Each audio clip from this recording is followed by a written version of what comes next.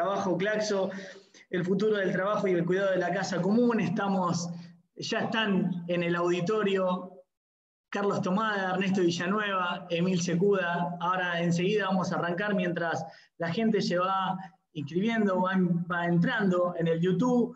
Le damos, eh, le damos unos minutos para que la gente se pueda empezar a conectar y ya arrancamos. ¿eh? Tal vez este, em, la gente de la organización puede ir poniendo un poquito de música, tal vez, este, Estefanía, Carelis, Pato, si están por ahí, para esperar unos segundos mientras eh, la gente se conecta. Gracias eh, Ernesto Villanueva, gracias Carlos Tomada, gracias Emil Secuda por este tiempo en este webinar de grandes ligas. De grandes ligas. Así que unos minutos ahí ya vamos a estar arrancando.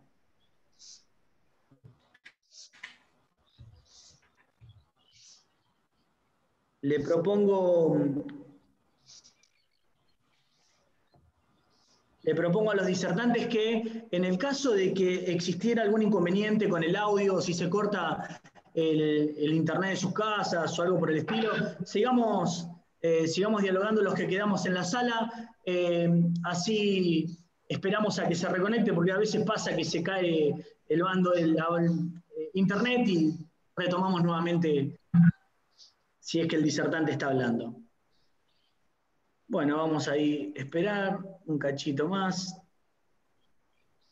Así, vamos entrando, ya hay gente que está entrando, yo estoy también entrando al YouTube y viendo la transmisión. ¿Me podés decir, Steffi, si lo estás viendo por YouTube, si se está escuchando? ¿Si está saliendo bien? Carelis, ¿me puedes decir? Un momento. Eh, Mauricio, están haciendo la conexión ahora. Ah, hay que esperar un poquito a que enganche la conexión. Ah, y, y al mismo tiempo sugiero tener todos los micrófonos apagados para que no haga eco. Listo. Seguimos los consejos de Milce.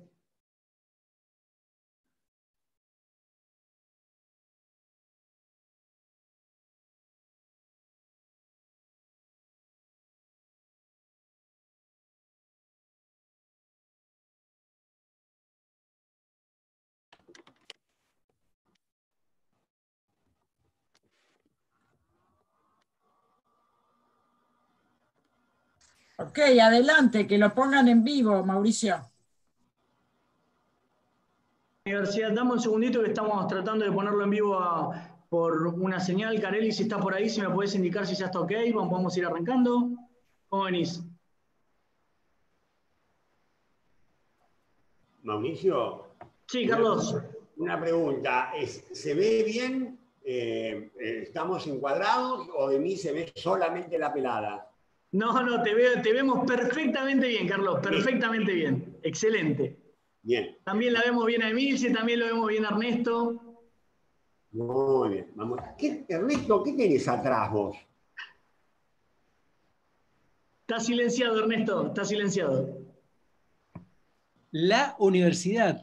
Carlos, vos podés, poner, vos podés poner una foto de fondo para tus charlas y entonces queda un poquito más lindo, digamos. Muy lindo. Sí, sí, pero podés poner cualquier foto que se te ocurra. Ah, mira. Te veo, bueno, ya estamos transmitiendo que. Más adelante en la tecnología. Te veo. Muy de avanzada. Sí, sí, porque los familiares. Bueno, cuando quieran, cuando quieran arrancamos, ya estamos transmitiendo, tenemos gente, así que eh, vamos a dar inicio, como decía hace unos, unos minutos. Gracias a Ernesto, gracias a Emilce, gracias a Carlos. Vamos a, darle el paso a Ernesto, pero antes quería eh, agradecer a la, a la CILTRA, Asociación de Licenciados en Relaciones Laborales, a Trabajo y Sociedad, a la Universidad de José de Paz, a la Red Universitaria de la Casa Común, a la Universidad de San Isidro, a Factor Francisco, a la Unión Obrera Ladrillera de la República Argentina, al Centro de Estudio de Desarrollo y Políticas Públicas Integrar, a la Universidad de Lanús, que nos acompañan con su auspicio, con su logo, difundiendo esta hermosa actividad. Agradecer a la Universidad Nacional Arturo Jaureche por todo el trabajo, a Rafael Rufo, desde el Centro de Política Educativa y Territorio, que la verdad que nos dieron una mano enorme para, junto con todo su equipo para la transmisión de este evento. Así que, Ernesto, eh, la palabra es toda tuya. Te dejo con, eh, en buena presencia, Ernesto. Bueno, bueno, buenas tardes. La verdad que reunirnos hoy en un momento en el que estamos transitando, no solo en Argentina, en todo el mundo, habla de un optimismo sobre el futuro, ¿no? de la posibilidad de pensar un futuro. Me parece que eso no lo estamos haciendo nosotros hoy, pero que esa también es una gran virtud de la encíclica.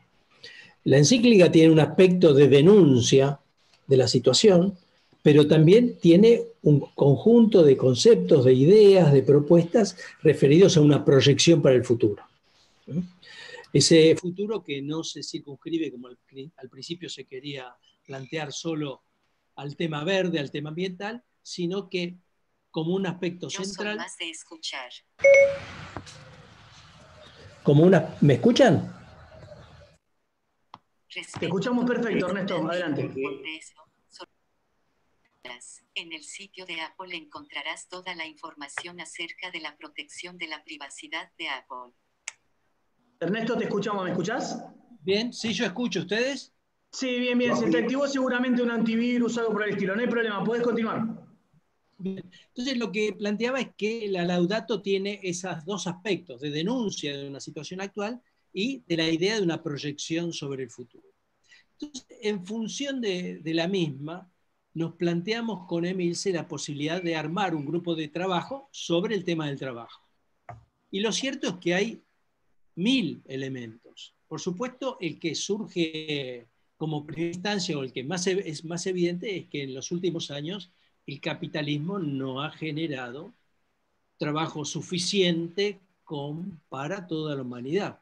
En el siglo XIX se hablaba de un ejército de reserva que tiraba los salarios abajo, pero hoy casi podríamos hablar de una población excedente, una proporción de seres humanos que quedan afuera de toda posibilidad de trabajar. Esas características actuales del capitalismo a veces se fundan, se fundamentan en ciertas características tecnológicas, ¿no? técnicas ahorradoras de mano de obra, que en estos días, la pandemia, en estos días del teletrabajo, todavía ese determinismo tecnológico va a ser más fuerte. Y entonces se crea una situación, como ha pasado, eh, como ha ocurrido en el pasado en la historia de la humanidad, en donde los cambios tecnológicos inicialmente van en contra de los sectores populares y incluso se plantea de que naturalmente van a ir, siendo que después, a lo largo de un proceso, eso se modifica. Pero es un tema pendiente entre nosotros y sería muy interesante que lo el grupo de trabajo nuestro de Claxo lo encaraba. Las características del teletrabajo de modo tal de favorecer a los sectores populares y no perjudicarlos. Para esta situación del capitalismo que no genera el, trabajo suficiente, se han planteado, por ejemplo, la posibilidad de un ingreso universal, que tiene sus pros y sus contras. Tiene sus pros en el corto plazo y como contra yo diría el aspecto de una cierta actitud de resignación frente a la incapacidad del capitalismo para generar trabajo. Todo esto, por supuesto, es mucho más duro para los jóvenes, para los jóvenes de sectores populares. E incluso una solución o un paliativo a esto ha sido eh, los procesos de economía popular. Eh, darle trabajo a los sectores marginales con ciertas características en el entendimiento que el capitalismo no lo va a generar. También esto tiene sus pros y sus contras. El pro, por supuesto, es el desarrollo de trabajo y la contra es resignarse a una economía, yo diría, de dos velocidades. En este sentido, tanto ingreso universal, tanto economía popular, tanto teletrabajo, para eh, que sean a favor de los sectores populares, de la inmensa mayoría de la humanidad, evidentemente se requieren modificaciones imprescindibles en nuestra política, no solo, no solo hacia el manejo ambiental, sino hacia el mundo laboral. Y me parece que eso es lo que está en juego hoy. la constitución de fuerzas políticas y sociales que posibiliten, que faciliten esa transformación de modo tal que el trabajo no sea el capital humano, como muchas veces dicen, sino el centro de nuestras preocupaciones. De ahí la creación de nuestro grupo de trabajo en Claxo. Muy, muy, muy bueno, Ernesto, muy bueno. Eh, Emilce, te doy el paso, no sé si te parece bien. Sí, muy bien, muy bien. Voy a pedir eh, que mis compañeros de panel apaguen los micrófonos, porque si no se hace una interferencia. ¿Se me está escuchando bien? Perfecto, Emilce, te escuchamos. Yo te ayudo desde acá, desde la... Eh, Carlos, te silencié el micrófono. Cualquier cosa que necesites una intervención, me avisas. Bueno, muchísimas gracias por este espacio que Asiltra organizó este, este evento y muchas gracias al panel, que es por supuesto de lujo, y a toda la gente que nos está viendo en este momento. Eh, voy a contar un poquito cómo nace este grupo de trabajo Claxo. de la Universidad Jaureche tiene un programa de investigación que se llama Programa de Estudios de la Cultura, el PEC, del cual tenemos un equipo fantástico que venimos trabajando ya hace muchos años, y teníamos un primer grupo de trabajo, Claxo, que se llamaba Teología Ética y Política, que armamos junto con Juan Carlos Escanone, recientemente fallecido. Él y Dussel, eh, padres de la filosofía de la liberación latinoamericana, son, eran, bueno, Dussel sigue siendo parte del grupo este, Claxo, Escanone ya nos abandonó, pero después de trabajar cuatro años, la teología y la política, decidimos que era un momento de pasar a la acción y tomar eh, esta nueva encíclica social de la Iglesia, que es la Laudato Si, y ver de qué manera poder llevar a la práctica ese desafío que plantea la encíclica en toda América Latina y el Caribe, que es el ámbito de trabajo de Claxo. Conversando esto con Ernesto Villanueva en el mes de julio, Ernesto propone que se tome la rienda del trabajo, que ese grupo tome la rienda del trabajo, ese grupo que era en principio de teología y política nada más, y que sumemos a todas las universidades del conurbano, porque en Argentina el conurbano, es decir, todo lo que rodea a la ciudad de Buenos Aires, la capital federal, tiene un montón de universidades que han formado un consorcio y que, preocupadas por las demandas sociales, además de hacer su trabajo académico en la docencia, también tienen un compromiso en conjunto con, el resto de la sociedad, ¿verdad? Entonces, a partir de esta propuesta de Ernesto Villanueva, pensamos que este grupo de trabajo que existía originalmente, del cual participaban 24 investigadores de 12 países, de toda Latinoamérica, Estados Unidos y algunos de Europa, sumara a este consorcio de universidades del conurbano. Ahí nos pusimos a pensar y vimos que la única forma de llevar adelante esta conversión ecológica de la que habla la encíclica Laudato Si, era, como dice el Papa Francisco, involucrar en la responsabilidad a todos los actores sociales. De modo tal que se armó un grupo de trabajo un poco atípico, porque no solamente tiene los académicos de cada una de las universidades, sino que también tiene representantes de movimientos sociales populares latinoamericanos, de sindicatos, de empresas y de cámaras de empresarios, de iglesias de todas las denominaciones, católica, protestante, judíos, islámicos.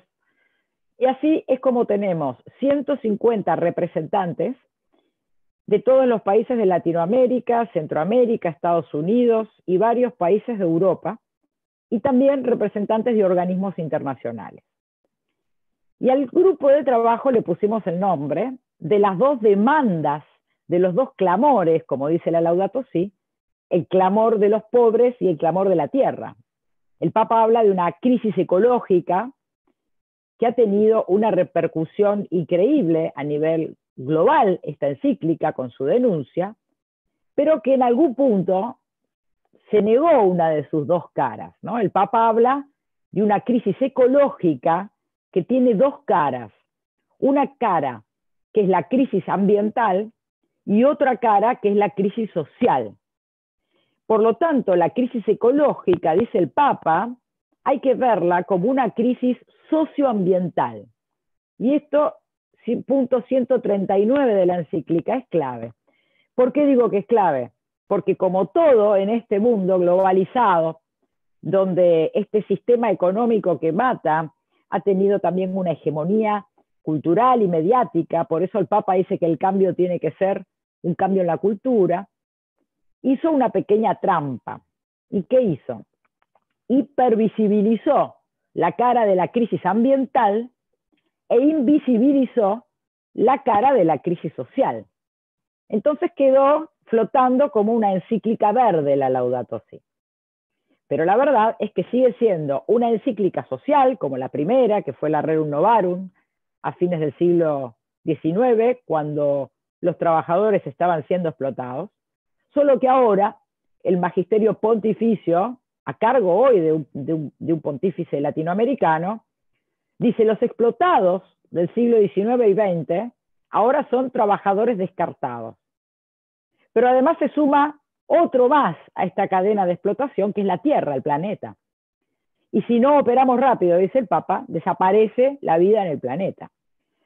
Por eso, como la cara es social ambiental y no se puede solucionar una sin la otra, le pusimos de nombre a este, a este equipo de trabajo el futuro del trabajo como respuesta a la demanda social y el cuidado de la casa común como respuesta a la demanda ecológica.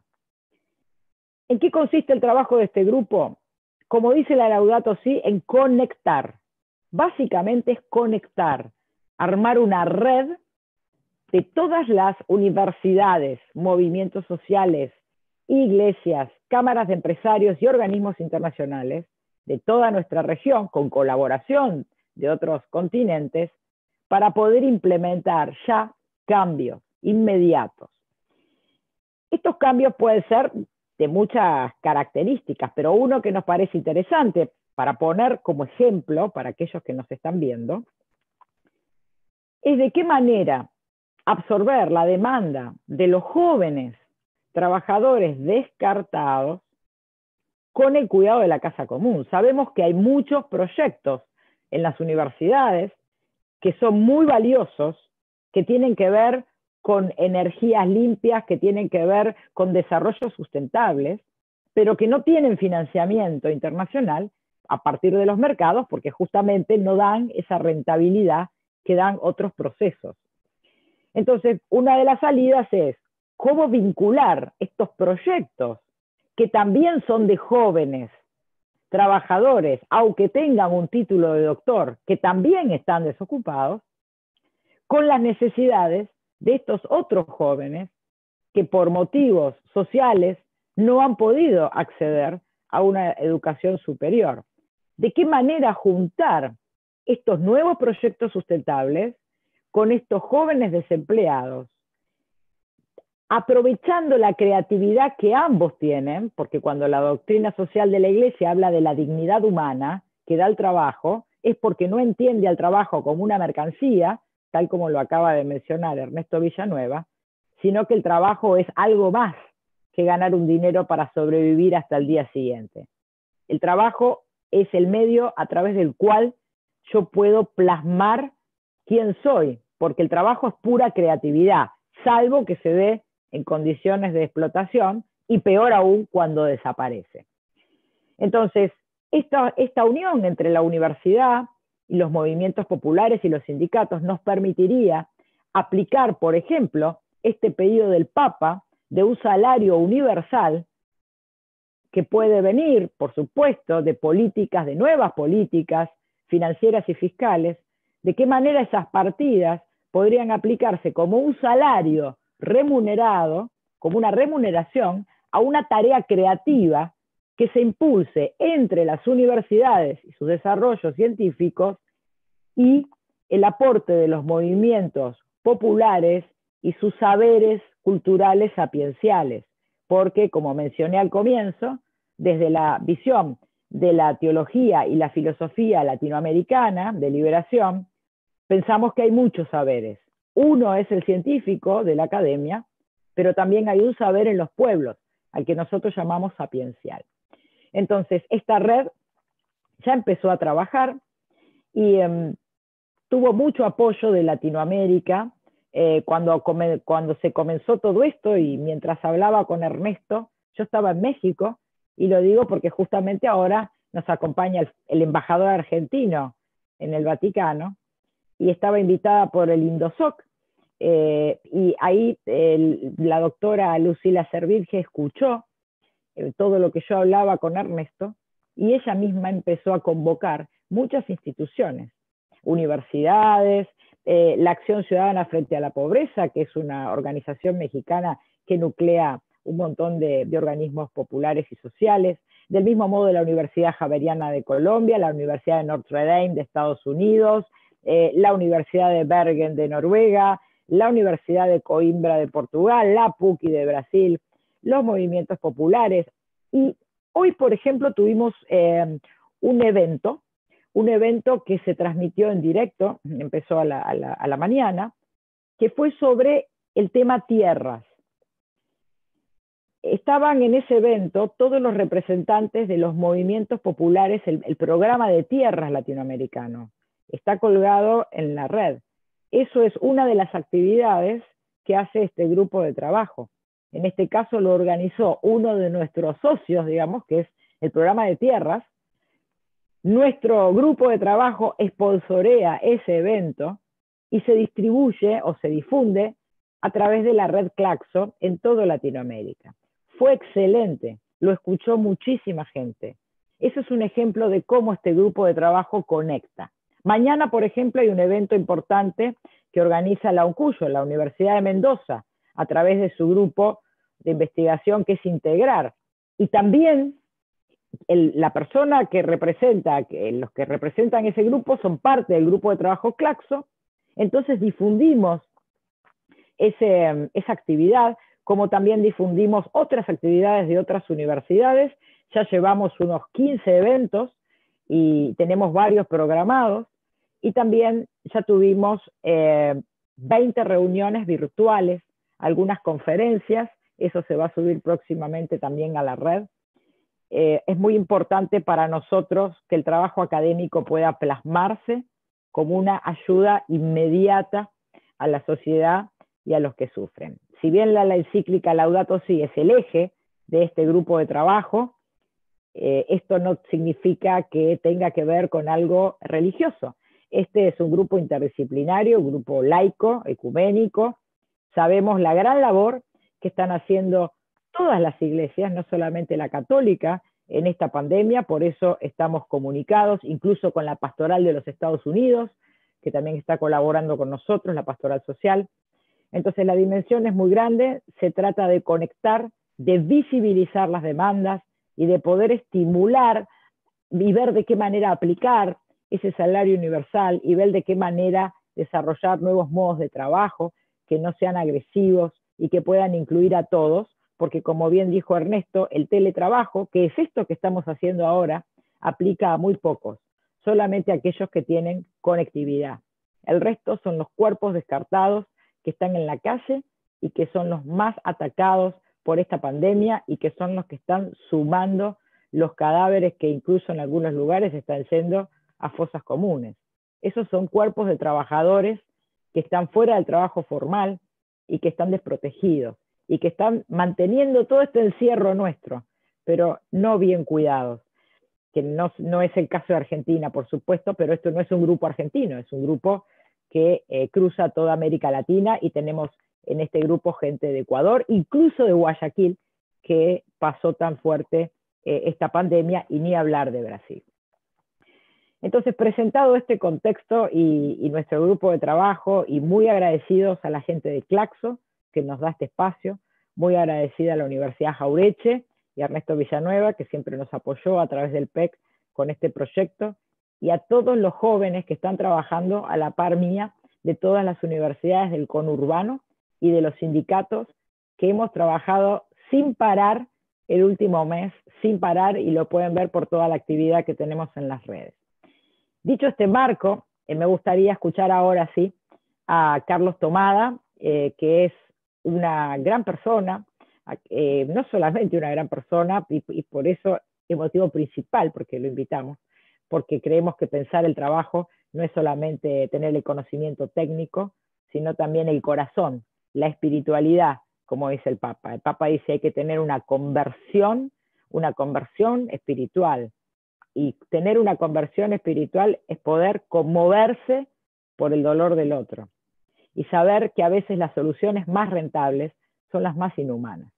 Entonces, como Carlos Tomada eh, fue una persona que estuvo a cargo de la conducción de las relaciones del trabajo en la Argentina y garantizó ese diálogo tripartito entre los trabajadores, las empresas y el Estado.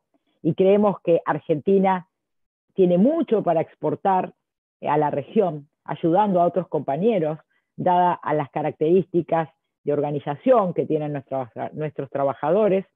Creemos que su aporte es muy importante, no para contar la historia del movimiento trabajadores argentinos, sino ahora en la urgencia del futuro del trabajo, de cómo hacer una transición a un trabajo que al mismo tiempo sea sustentable y que pueda tratar a los trabajadores como humanos y no en esta situación indigna en que se encuentran, sobre todo en los últimos tres meses. Gracias, Carlos, por acompañarnos y ahora sí te cedo la palabra.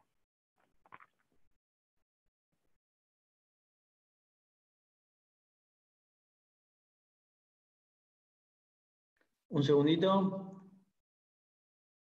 Damos un segundito. Ahora sí, Carlos, ahora sí, Carlos, te estamos escuchando. Ahora sí. Bueno, buenas tardes. ¿Se escucha? Perfectamente. Bueno, este, primero decirle que a Emilce, que de tanto leer la Laudato Si, me ha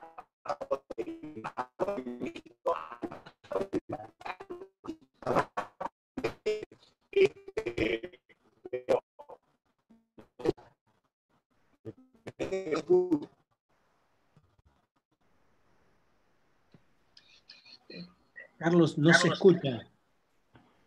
¿No se escucha? Carlos, ¿me escuchás?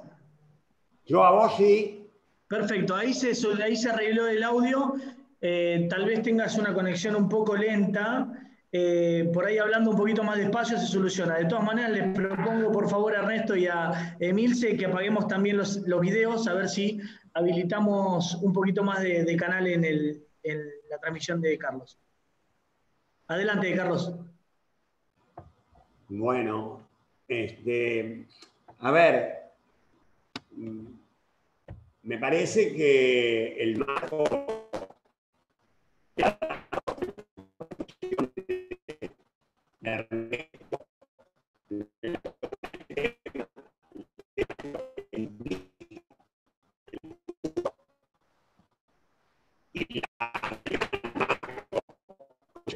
que ha dado Emilce me permite a mí, aprovechando eso, hacer una, una aproximación más directa a las cuestiones vinculadas con este momento tan importante en el proceso político y económico a nivel mundial. Me parece que está claro en las palabras de ambos, que muchos de los problemas que estamos viendo ya venían de antes de la pandemia.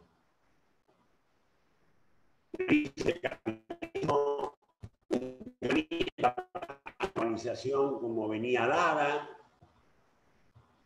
y los brutales efectos en la sociedad de, esta, de este neoliberalismo dominante ya eran parte de los problemas que tenía el mundo. Lo que ha, lo que ha traído esta pandemia, me parece, es la posibilidad de que algunos de los temas tomen una visibilidad y una dramaticidad que no tenían. Por eso yo no puedo, digamos, dejar de mencionar, cuando hablamos del futuro del trabajo, hablar del futuro del trabajo después de la pandemia. Porque nada será igual después. Y esto no quiere decir que no haya sectores que quieren que siga igual. Pero no, tal vez los términos de las disputas va a ser de ahora en más entre quienes quieren volver al pasado, quienes quieren insistir por el camino en que venía el mundo y América Latina, y quienes entendemos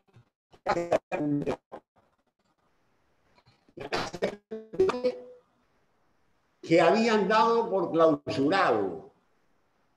Y es un debate que debemos dar ahora.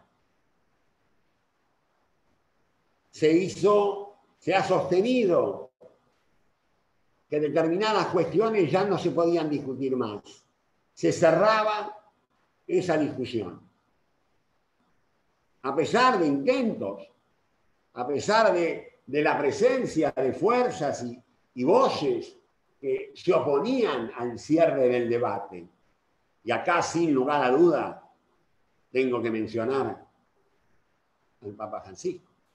Tal vez la principal voz en el mundo que se hacía oír en relación a este debate que no está cerrado. Por eso quisiera sintetizar, muy sintéticamente, insisto, que el debate lo estamos dando ahora porque el después es ahora. Lo que va a pasar lo estamos construyendo en el debate ahora. Esto que estamos haciendo ahora en este momento, me parece que forma parte importante del futuro. Y por eso quisiera mencionar tres temas. Tres temas que no debemos permitir que se retroceda. Dos temas que están instalados en el debate en Latinoamérica. No digo en el mundo en Latinoamérica y que debemos mantenernos activos, vivos y encontrar respuestas si es que queremos de verdad la inclusión social, si es que creemos de verdad en un orden social más justo. Y me refiero, en primer término, que la desigualdad ha quedado expuesta de una manera brutal. La desigualdad que ha crecido en el mundo hoy no se puede tapar con ningún discurso y con ninguna explicación. El virus es cierto que ataca a todos, pero no ataca a todos igual. Todos sabemos que parte de la expansión de este virus se potencia cuando, cuando a ella, cuando mueve en los sectores más vulnerables en América Latina llenan el territorio de nuestros países. todos mueren igual con el virus, pero los padeceres son distintos. La desigualdad es algo inocultable y que nosotros tenemos que poner en evidencia. En segundo lugar, creo que estamos asistiendo a una revalorización del trabajo y de los trabajadores, en un doble sentido. Por un lado, como bien lo señalaban tanto Ernesto como Milce, por un lado, se han hecho visibles, pero además necesarios a todo un conjunto de trabajadores que están en situación precaria a lo largo y a lo ancho de Latinoamérica. Y lo digo pensando desde los trabajadores de la agricultura hasta la otra punta, los trabajadores de plataforma. Trabajadores que se han convertido en indispensables en, esta, en este tiempo. Para no, y en el medio, la larga lista de trabajadores sanitarios, trabajadores del transporte, todos estos que casualmente los trabajadores de cuidados, de todo tipo de cuidados, que casualmente eran no solamente precarios en términos de las condiciones de trabajo, sino mal pagos, con un trabajo infravalorado. Hoy, hoy, todos esos trabajadores han demostrado que son absolutamente imprescindibles para nuestra vida. Pero más aún, lo que se ha demostrado es que cuando no hay trabajo todo se derrumba. Aquellos que sostenían que había que cuidar solamente a las empresas, que con eso, cuando no, cuando que había que cuidar solamente a los bancos. Pero digamos, a las empresas, ahora están tomando conciencia de que eso no es así. Que no solamente hay que cuidar al, sector productivo, sino que también es indispensable cuidar a los trabajadores, cuidar el trabajo. Y de esto no, no tenemos que retroceder. No puede ser que la salida de la crisis, esta crisis brutal y global, sea volver a la misma situación y a los mismos instrumentos y a las mismas políticas preexistentes. Creo que esto, este lugar que ha ocupado el trabajo se puede sintetizar en una frase de Pablo Chena, cuando nos dice, con una metáfora perfecta, es, estamos asistiendo a una huelga general involuntaria. Esto es lo que estamos viendo. Y entonces sí, no se puede discutir hoy la centralidad que ocupa el trabajo. Inclusive si lo queremos ver en términos económicos, también no es esta una crisis solamente de, la oferta, es una crisis de la oferta y de la demanda. Es necesario poner en marcha políticas de sostenimiento de los ingresos populares, pero al mismo tiempo de sostenimiento del aparato productivo. Y entonces, la tercera, la tercera pregunta. ¿Quién, cómo vamos a hacer para sostener estos ingresos populares? ¿Cómo vamos a sostener la activación de la producción? ¿Con qué recursos? ¿Quién financia los gastos del Estado que todos hoy reivindican? Porque hoy estamos hablando, eh, como, repetimos como un mantra eh, en la importancia del Estado este Estado que habíamos ninguneado, ¿no?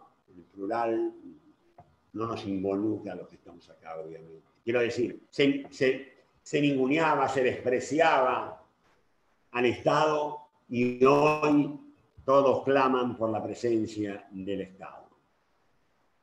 Pues bien, primera discusión, entonces, saldada. Estamos de acuerdo que es necesario la presencia la intervención del Estado. ¿De qué Estado? Un Estado que tenga qué características y que impulse qué políticas. Y segundo, ¿cuál va a ser el origen de los recursos para sostener el Estado? ¿De dónde van a salir los ingresos del Estado para sostener el trabajo, la producción, combatir la desigualdad? ¿De dónde? Y me parece que esto nos lleva a un viejo conflicto, por lo menos de la Argentina, que es lo que está en discusión en nuestro país, definitivamente, y atraviesa toda su historia, es cómo se produce y cómo se distribuye la riqueza, cómo se produce y cómo se distribuye el ingreso, y por lo tanto, cómo se produce y cómo se distribuye el bienestar. Estos tres ejes que he tratado muy, muy sintéticamente de presentar, que son la desigualdad, en la cuestión de la revalorización del trabajo y la pregunta de quién paga la crisis, se inscribe también en lo que es específicamente el mundo del trabajo. En la Argentina nos encontramos con la pandemia viniendo de un punto de partida de gran debilidad. De gran debilidad. Por eso el, debate no es igual en Latinoamérica que en Europa. Y en aspectos similares, pero los puntos de partida son distintos. Nosotros venimos de un antes que había destruido, devastado, abandonado al Estado y hubo que empezar a ponerlo en marcha. Argentina hoy tiene un gobierno y una orientación, yo diría, progresista, productivista, que siempre creyó en el rol del Estado. Menos mal. Y esto lo diferencia de, de otras realidades concretas al día de hoy de Latinoamérica. Y por otro lado, las situaciones laborales, la situación de la relación laboral, la situación del mercado de trabajo. Pocos meses antes de que apareciera la, la pandemia, teníamos un gobierno que cuestionaba la legislación laboral, las organizaciones, las instituciones del mundo del trabajo. Afortunadamente, meses antes había asumido un gobierno que empezó a revertir este, esta visión del mundo del trabajo. Un, gobierno que intentó empezar a recuperar la vigencia de algunos derechos, que, que, empezó a preocuparse por una administración laboral acorde a, la, a las necesidades, que, respetaba las representaciones sociales, que no se molestaba por la organización de diferentes colectivos en nuestro país. Pero hoy quienes están postulando mantener el statu quo, quienes están planteando volver otra vez a la situación previa a la, a la pandemia, no tienen una mirada igual ni sobre la legislación, ni sobre las organizaciones, ni sobre las instituciones. Y yo creo, para ir terminando, yo creo que eso, eso es con lo que me quisiera quedar. Yo creo que como síntesis vamos a salir en una mirada optimista, con enormes dificultades, con enormes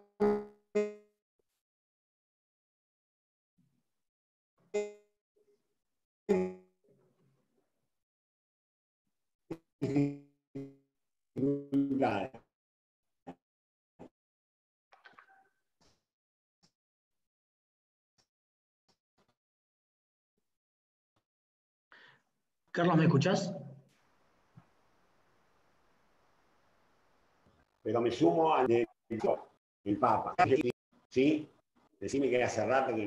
No, no, te estábamos escuchando muy atentamente y perfectamente bien. Te quiero decir que eh, eh, estamos eh, muy atentos a la pantalla como si fuese un, un, un espectáculo real. Eh, la última parte se entrecortó y pensé que no ibas, a, no ibas a continuar, así que te dejo continuar, te dejo continuar, por favor. Te escuchamos hasta que decías que tenías una visión optimista. Hasta ahí. Bien. Este, y la quiero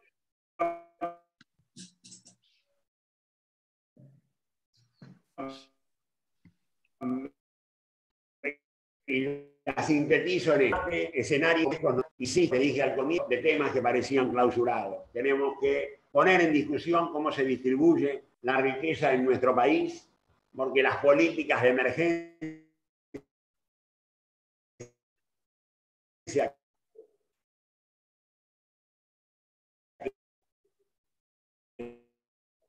se han adoptado, por cierto, de algún tipo que ahora se distribuía. Tenemos que sostener el incuestionable regreso del Estado. En nuestras sociedades hace falta mucho más Estado y a muchos estados le hace falta mucho más recursos.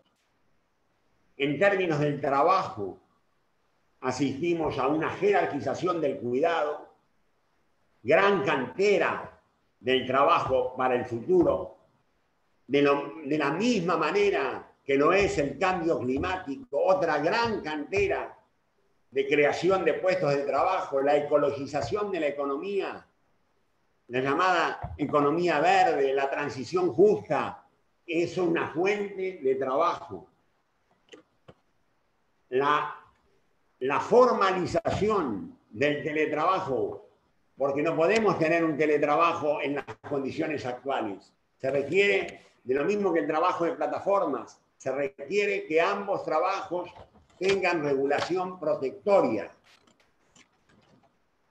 Y por último, el enorme desafío que este gobierno tenía desde antes, que es la creciente inclusión de los trabajadores precarios en la economía formal y en los sistemas de protección social.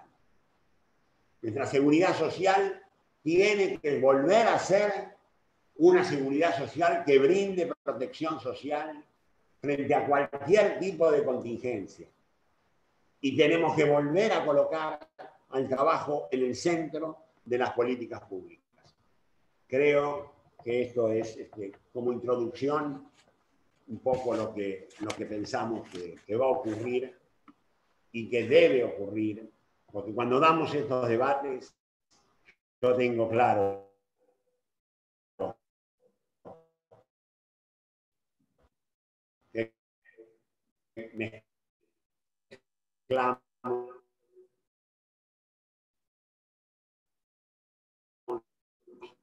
deseos, esperanza.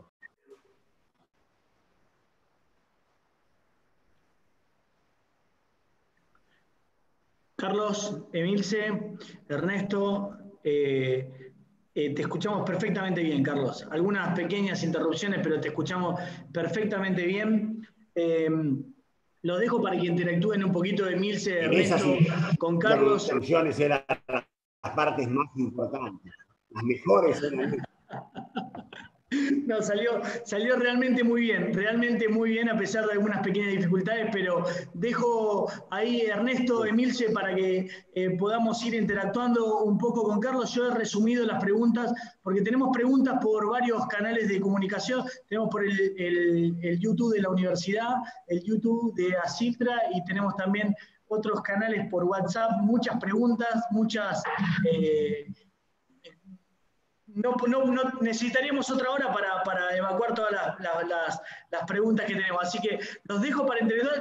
Sinteticé tres preguntas, así que cuando ustedes eh, me lo permitan, se las le hago una a Ernesto, una a Emilce y otra para Carlos. Y te doy la palabra, Ernesto.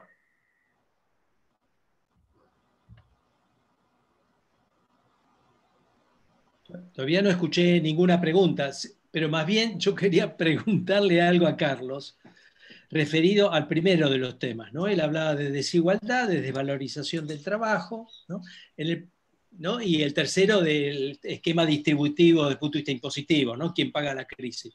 En el primero, la desigualdad, eh, eh, y atándolo con la visión optimista sobre el futuro. Yo pienso que en el corto plazo, cuando salgamos de la pandemia, va a haber más desigualdad que ahora, Carlos. Más desigualdad, Sí, sí. no menos. Que para No, que no. se. Ah, dale, dale.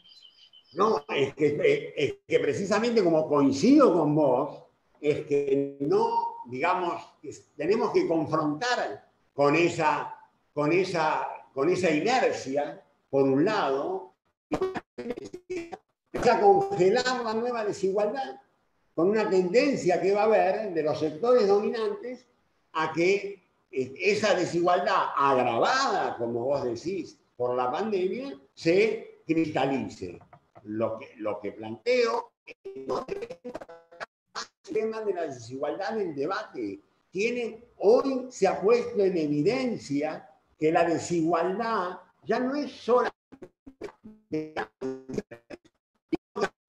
el desarrollo de los países.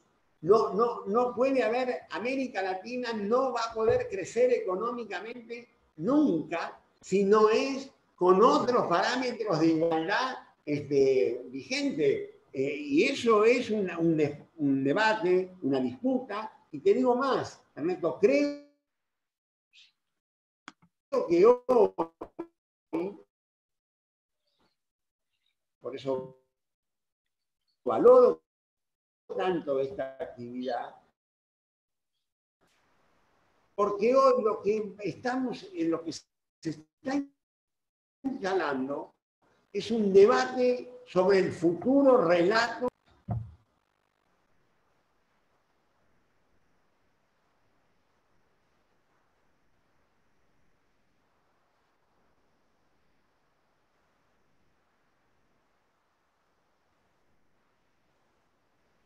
¿Hablo yo, Mauricio?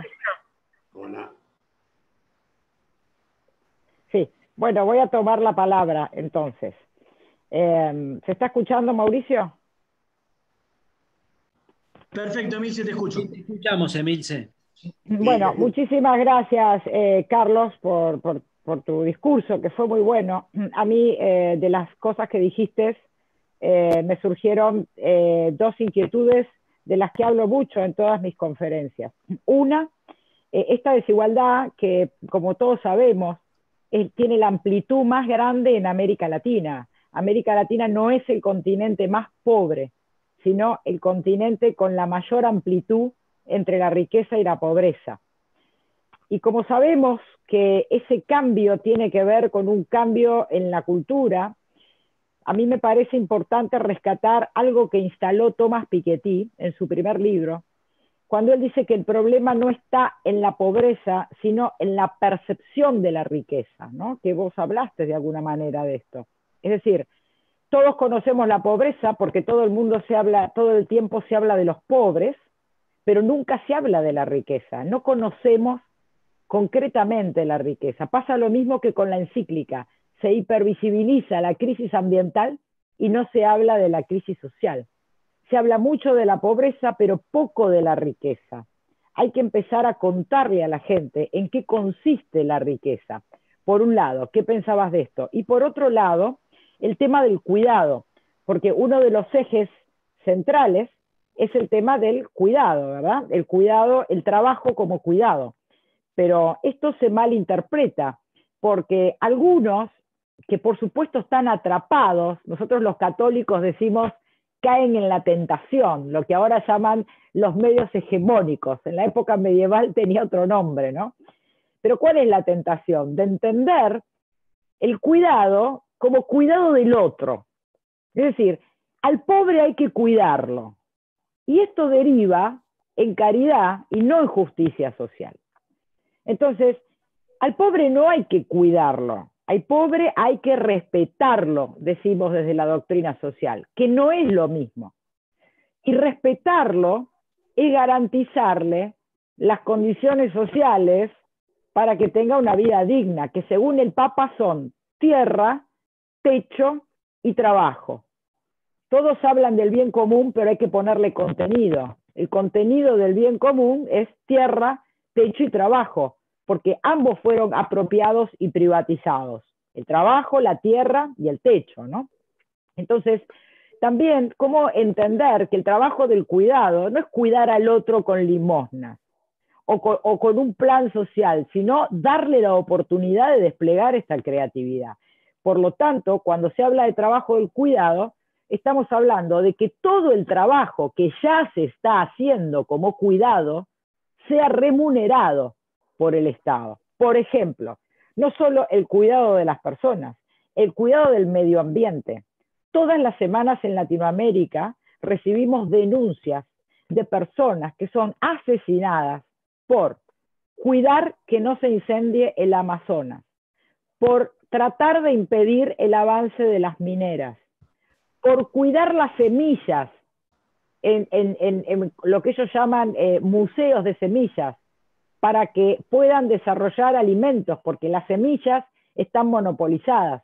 Entonces la gente no puede comer porque le han quitado las semillas. Entonces toda esa gente está cuidando el planeta con su cuerpo y los están matando a muchos de ellos, ¿no? Entonces hay un montón de trabajo del cuidado, sin hablar de todos los cuerpos que están en la calle sosteniendo este encierro, que también nos están cuidando. Entonces, ¿cómo cambiar esas dos percepciones?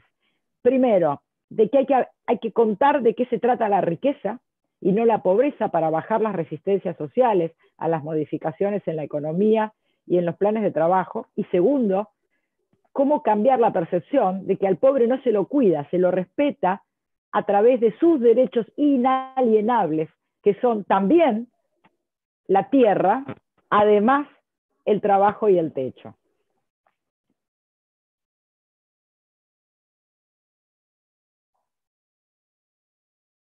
Bien, Carlos, estás en. Eh, ¿Estás eh, por ahí? Bien, mientras tanto, esperamos a Carlos que regrese. Ahí en el, en el chat del, Facebook, del YouTube, Emilce, te digo, hay inmensos saludos para Ernesto, para vos, para Carlos. Hay algunas preguntas que las voy a le voy haciendo una pregunta, le voy haciendo una pregunta a usted, Ernesto, si está ahí en, el, en la sala. Estoy. Bien. Em, ¿Cómo ve a las universidades en el futuro? Una de las preguntas. Vinculadas a las tecnologías y a la enseñanza misma. Las universidades tienen más de mil años, ¿no es así? Unos mil años aproximadamente y ha, atravesado desde el feudalismo distintas formas de capitalismo, el socialismo, y ha tenido una gran capacidad de readecuarse a las situaciones a pesar de ser bastante conservadora. Eh, lo que está ocurriendo en estos días es simplemente una presencia mucho mayor del tema virtual sobre lo presencial. En el futuro va a haber una combinación de ambas, al igual de lo que va a ocurrir en otras esferas. En el plano de la investigación, las universidades tienen mayores dificultades que en el plano de la enseñanza. Ahí hay dificultades por las características del sistema universitario y por las inversiones que requieren algún tipo de investigaciones. Sobre todo pienso en el tema de medicamentos, algunas cuestiones de química, de física, donde ahí sí va a haber una competencia mayor. Pero no veo eh, modificaciones enormes en el mundo universitario, excepto que las características de sus docentes y de sus no docentes van a tender a adecuarse a algunos rasgos que hoy todavía no aparecen. El aspecto comunicacional va, si en, el pasado, por ejemplo, pensábamos que lo importante para un docente universitario era saber y menospreciábamos un poco su capacidad comunicacional. Entonces pensábamos que un sabio per se era un buen profesor. Hoy tendemos a pensar más en la especificidad de la docencia, de la transmisión del conocimiento. Y creo que eso se va a acentuar más con las nuevas tecnologías, con las competencias por parte de las redes, de la televisión, etcétera, etcétera. Gracias, Ernesto. Emilce, una pregunta para vos. Adelante. ¿Cuál es el rol de los movimientos sociales dentro del grupo de trabajo Claxo, el futuro del trabajo y el cuidado de la casa común? Bueno, el rol es fundamental porque también esta es una posición latinoamericana, ¿verdad? ¿Me escucha? Sí, Carlos. Sí, sí, Carlos, te escuchamos. Adelante, Milce, yo me voy comunicando con Carlos. Bueno, eh, el rol es fundamental porque lo que pensamos desde América Latina, todos aquellos que estamos comprometidos con, construir una cultura más justa, es que hay que escuchar a todos. delay, este, con, cierto medio fijado. El problema es mío, ¿eh? No hay problema, no hay problema, Carlos, ¿me escuchás bien?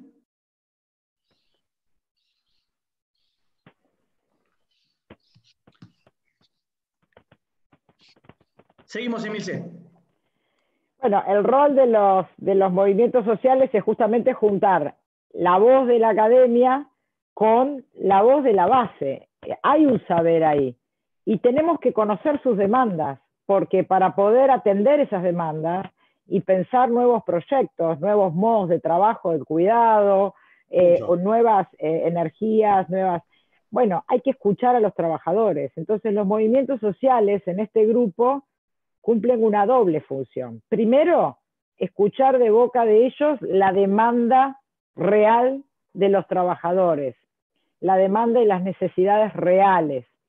Y segundo, poder implementarlas, porque todos estos cambios pueden estar muy bien pensados por organismos internacionales, pero si no hay una base organizada, ningún cambio va a ser posible. Entonces, cada una de estas, al ser un grupo internacional y al participar en debates internacionales y armar, incluso como estamos haciendo en este momento, informe para las comisiones internacionales que están tratando de solucionar en lo inmediato las consecuencias del COVID-19 a través de la Oficina de Ginebra, eh, lo que necesitamos es que esas cosas después en la base se puedan implementar. Entonces, es un trabajo conjunto entre la academia los movimientos sociales, los empresarios, los empresarios que puedan colaborar, eh, no solamente también contando la visión del empresario, porque generalmente se confunde capital con mercado, ¿no? Entonces el pobre empresario que tiene 100 empleados termina siendo la cara del capitalismo. Bueno, eso no es así.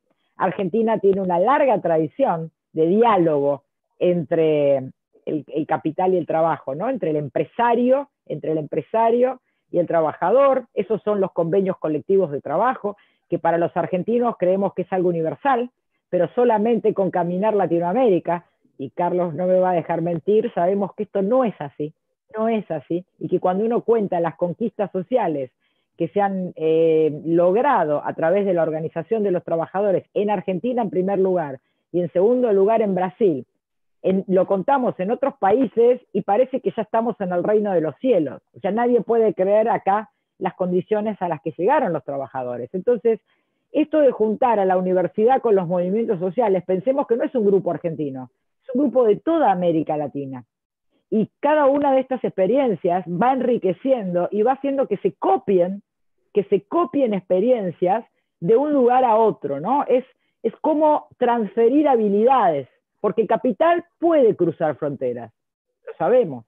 El problema es cómo cruzar las fronteras con las habilidades de la organización de la base. Entonces, eso es muy importante y por eso los movimientos sociales en esta red que es de investigadores y trabajadores.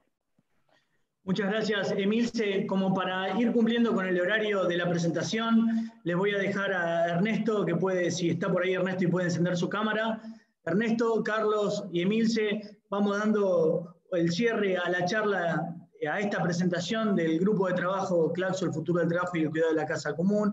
Muchísimas gracias a los tres por participar.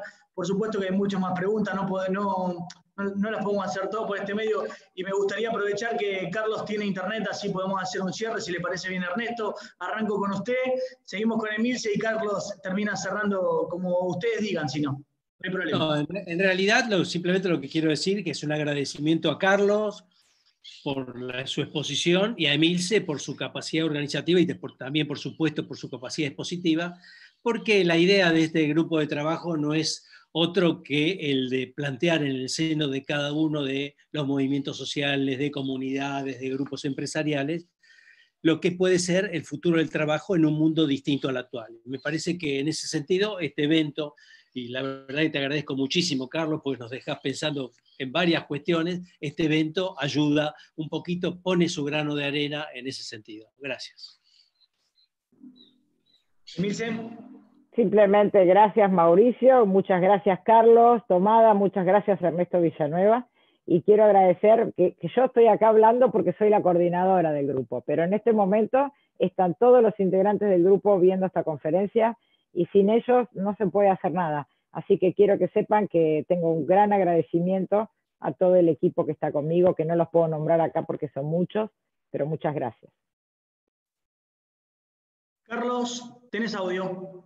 Muy, muy brevemente, eh, lamento no haber podido participar en plenitud, me queda me quedan muchas ganas de continuar esta charla con Ernesto y con Emilce, seguramente lo haremos, yo iré a visitar a ese grupo, como sea, pero esta charla debe continuar. Y a vos, Mauricio, el esfuerzo y la transpiración de tuya y de todo tu equipo, te aseguro que no me lo olvido. Muchas gracias, les mando un enorme abrazo a todos y espero pronto que nos podamos volver a encontrar. Y un aplauso especial para Mauricio y su equipo. Muchísimas gracias por estar, muchísimas gracias a toda la gente que se conectó. Más o menos fueron simplemente un número para tener, fueron unas entre 150 y 200 personas entre las tres eh, transmisiones que estamos teniendo. Y en estos tiempos donde los webinars eh, brotan por todos lados, creemos que tenemos un público más que aceptable. Muchísimas gracias a todos los que se conectaron y a todas las que se conectaron. A Ernesto, Emilce y Carlos, por supuesto un fuerte saludo y un fuerte abrazo y hasta la próxima. Muchas gracias. Gracias, gracias, gracias. Adiós.